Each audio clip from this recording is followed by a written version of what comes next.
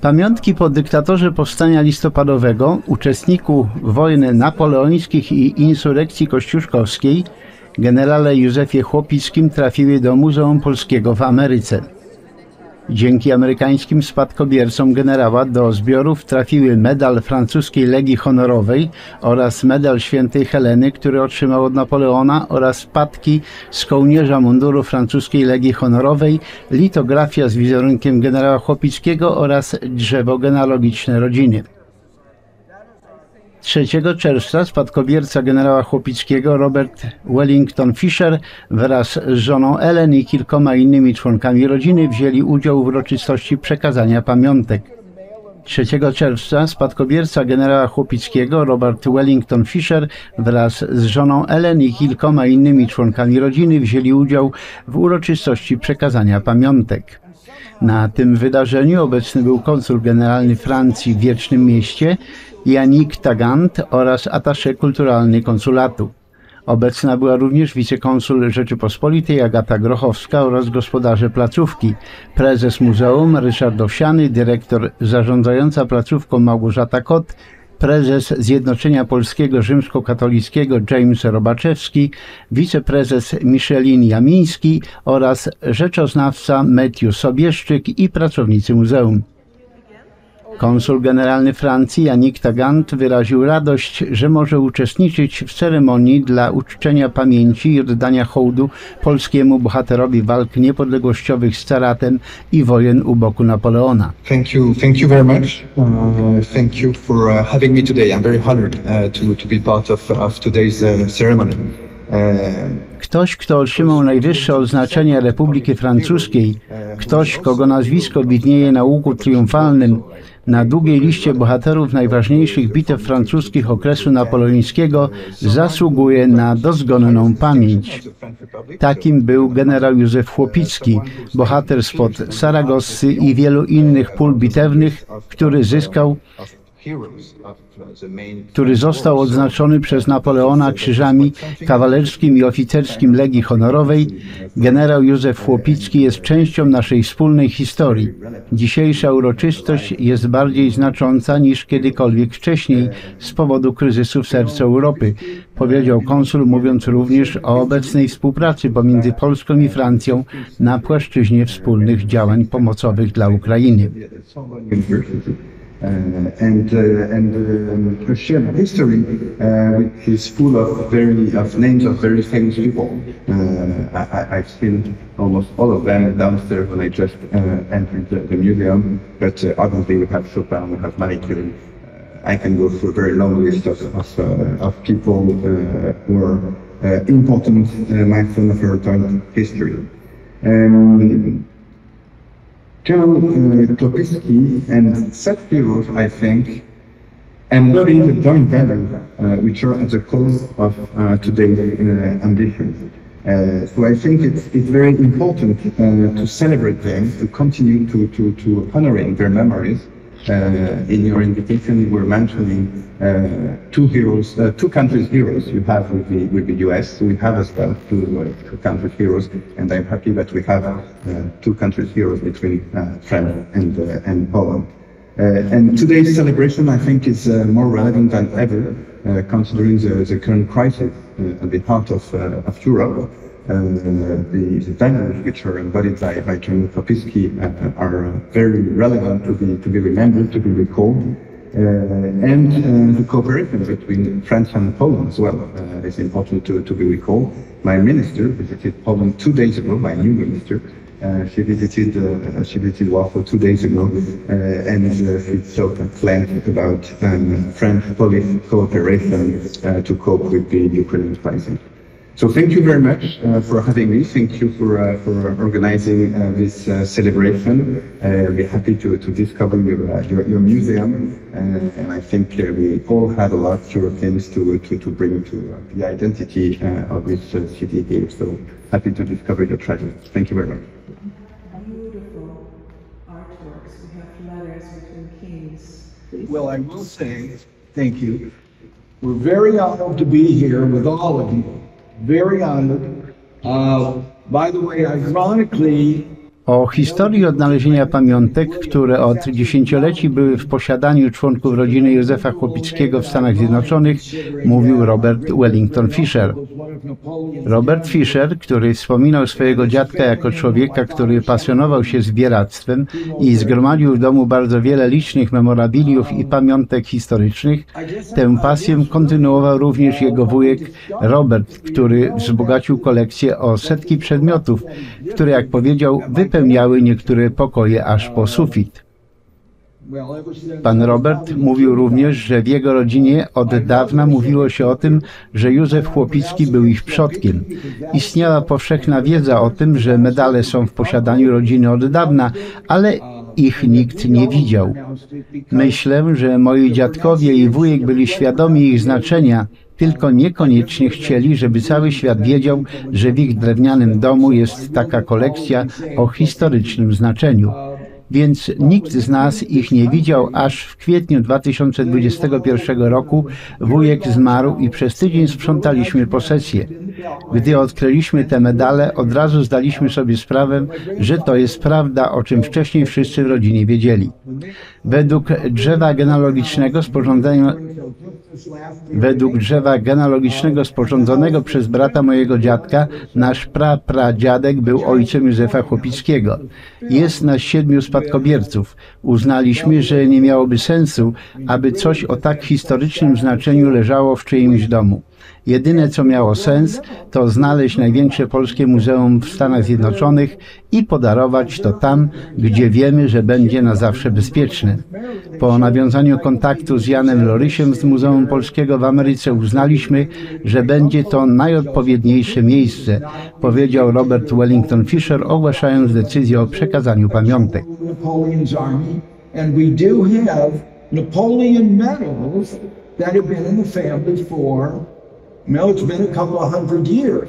But none of us in the family had ever seen these medals. We'd heard about them. I think my grandparents and I think my uncle as well recognized their value and didn't necessarily want everyone in the world to know that in that frame house was a historical collection that, uh, you know, had some significance. And so none of us had seen it until after my uncle died back in April. Carol there and the rest of us, we spent weeks and months cleaning that house, going to the, first, the first floor and three fireplaces, and everything was just covered with dust. And when we uncovered the, these medals, we realized immediately these are the medals from the polio. And uh, that column, we had seen all of the, you know, today it's so easy on the internet to find all this information and see all these pictures. And we've seen Joseph Lopicki with that very similar collar and many of the, of the, of the uniforms that he wore. Uh, and so right away we realized, look, these are the real things. We sent them down to, uh, we met a, a military appraiser, Art Beltran, who has done appraisals for the White House and the Smithsonian. And um, he, after a lengthy period of talking to an awful lot of people, verified these are actually uh, the medals. These are Napoleonic uh, medals. Uh, and then when he saw our family history, which you have right there on the on the uh, on the family tree that was done by my grandfather's brother, Uncle Caesar, um, our great great great grandfather was General Joseph Klopicki's father. And so, again, he was our uncle. And um, really, all else I will say is that as, as there were seven of us beneficiaries to the estate, and it was a joint decision that it made no sense to put something that historical in somebody's house and just throw it in the drawer or put it on the wall and uh, brag about it. The only thing that made sense was to find the biggest Polish museum in the United States and donate it here where we know it's safe and will be safe forever.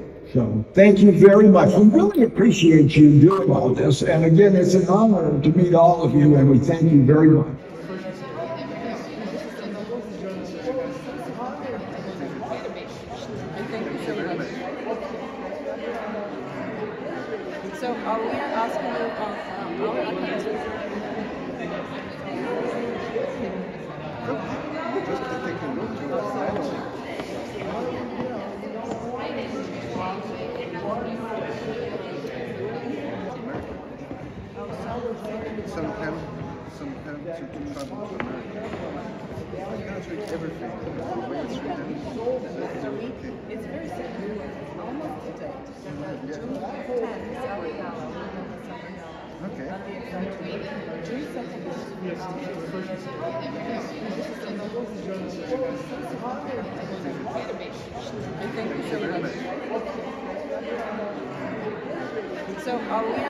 Dyrektor zarządzająca placówką Małgorzata Kot, dziękując za darowiznę, powiedziała, że obok woli spadkobierców duża w tym zasługa jej poprzednika Jana Lorysia.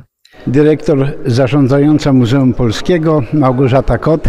Pani Małgorzato, dzisiaj Muzeum Polskie wzbogaciło się o cenne pamiątki po generale Chłopickim. Tak, wzbogaciliśmy się o te pamiątki. To był długi plan pana Jana Lorysia, dlatego że korespondował z reprezentantami rodziny generała Chłopickiego przez długi okres czasu. Marzył o tym, dlatego że fascynuje go czas, fascynują go czasy napoleońskie i to, co się dzieje. I jest to ciekawa pamiątka uzupełniająca jak gdyby nasze zbiory, dlatego że nasze wspaniałe archiwistki odnalazły list, który hrabia Czartoryski pisał do kogoś związanego z Chłopickim a propos wyjazdu jego do Stanów.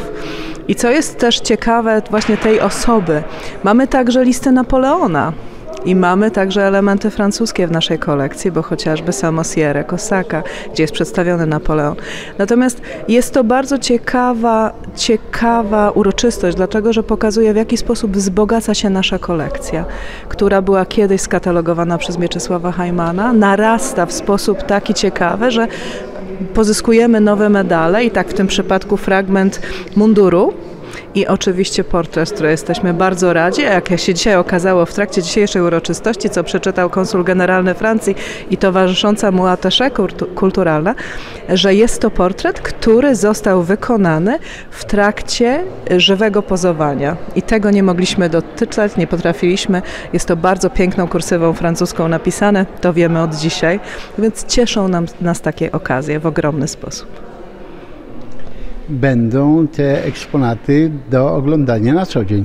Będą do oglądania, przy czym y, musimy poddać je konserwacji, dlatego że i fragmentu mundurowania, y, w przypadku medali nie trzeba tego, dlatego że są świetnie zachowane, natomiast na pewno jego portret, ta litografia musi zostać odczyszczona i poddana konserwacji, na co także będziemy zbierać fundusze i serdecznie dziękujemy za to, że jesteście Państwo nami zainteresowani. Dziękujemy za wsparcie.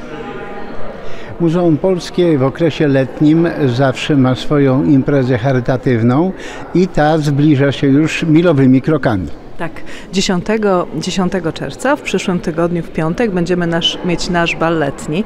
Cieszymy się dlatego, że jest to bal numer 42, czyli już 42 razy się spotykaliśmy, ale także obchodzimy go z okazji 85-lecia otwarcia muzeum. I w tym roku bal jest poświęcony Mieczysławowi Hajmanowi, twórcy Muzeum Polskiego, którego tutaj z pieczołowitością, powiedziałabym, przechowujemy pamiątki, które zebrał. Idziemy jego śladami, jest dla nas mentorem, i osobą bardzo ważną. I podczas tego nareszcie na żywo balu e, i przed tym balem zbieramy fundusze, dlatego że wszyscy ci, którym jest drogie Muzeum Polskie, przekazali nam fundusze na naszą działalność i cieszymy się z tego, że będzie nam dane się spotkać i wreszcie ze sobą poobcować. Zadowolenia z faktu przekazania do muzeum tak cennych pamiątek nie krył prezes muzeum Ryszard Owsiany.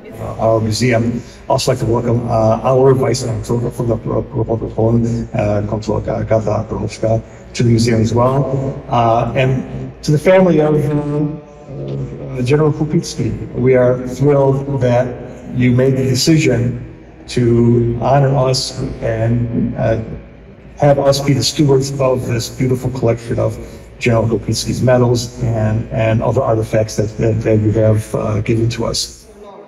Na zakończenie uroczystości goście zwiedzili muzeum i zostali zaproszeni na lunch.